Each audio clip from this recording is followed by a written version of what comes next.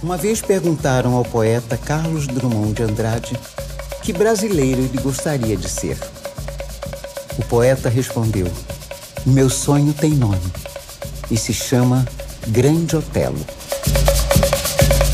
Não há nenhum ator, por mais cômico que seja, que não goste de fazer o público chorar de vez em quando.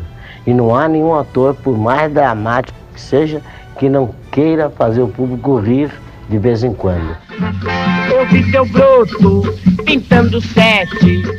Os papéis que você me vê representar e que não tem nada a ver comigo, é que não tem nada a ver comigo e não tem nada a ver com o negro brasileiro. Mas eu preciso sobreviver.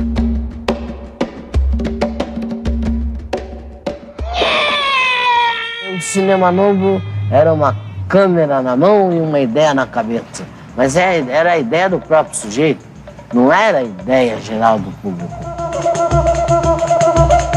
Eu cruzei com o Orson Welles e o Zacarias me chamou e me disse: Olha, quero te apresentar aqui o maior gênio do cinema.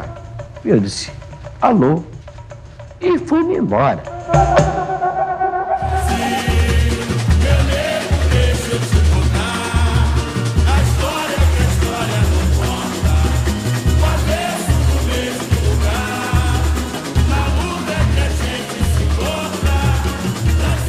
Preciso explicar ao pessoal que quem tem, tem.